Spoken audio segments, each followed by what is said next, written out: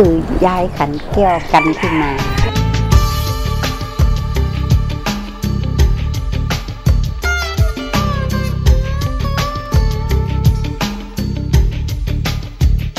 จึงวันนี้ก็ทำเครื่องเขินนะฮะทำทุกอย่างอะที่เปิดมาสั่งนะแต่ออเดอร์เข้ามาก็เขาก็รับทำหมดเลย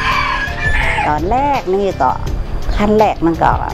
เป็นพานเนาะพานแดงนี่นะ เขาทำโครงอย่างนี้แล้วเขาก็เอาไปลงดินลงขี้เลยลงสีแล้วมันถึงจะเป็นแดงได้นะมันของอินมันทำเอาไปลงที่เลยแล้วเขาก็ต้องเอาไปตากแดด ตากแดดมันแห้งแล้วเขาก็เอามาคัดใจกระดาษทรายคัดทำกำคัดมันเรียบแล้วเขาก็เอาดินสอพองกับกาวเนี่ยผสมกันเข้าตาทำกำตาคือมันเอาเนื้อมันเนาะก็เขาตาดินสีฟองเสร็จแล้ว ก็ใจกระดาษทรายคัดทำกำกระดาษทรายเบอร์ร้อยคัดคัดดินมันแล้วแล้วก็ เอาไปลงสีโป๊กทาสีโป้กรรมเขาเขาอู้กันเรื่องว่านี่ว่าสีรองพื้นเนาะ ล้วคนโบราณพูดว่าสีโป้ทำมันนี่นะตั้งแต่เมื่อแม่เป็นละอ่อนน่ะไปเรียนมาก็มาเจอก่อนช่วยแม่อย่างตอนแรกมันก็พูดถึงว่าขันแดงขันแดงนะคนสมัยโบราณพวกก็ใจขันแดงเนี่ยเนาะขันแดงแต่ก่อนนี่มันโดยมากแม่ใส่จะใจหางใจหักใจหางเนาะแล้วพอมาตอนหลังนี่หักมันก็เคี้ยมแล้วก็แปลงไปคนทำก็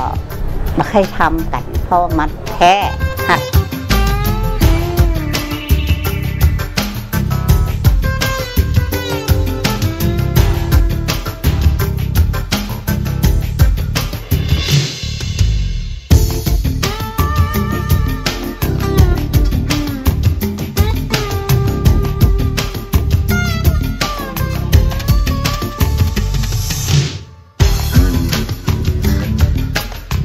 ก่อนโบราณแต่ก่อนนี่มัน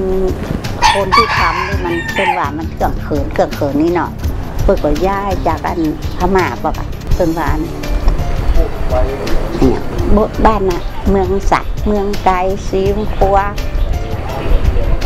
อยากเป็นย้ายมาเป็นบ้านเป็นบ้านติดจุดติดจุดนะสันใจดอนจันอย่าง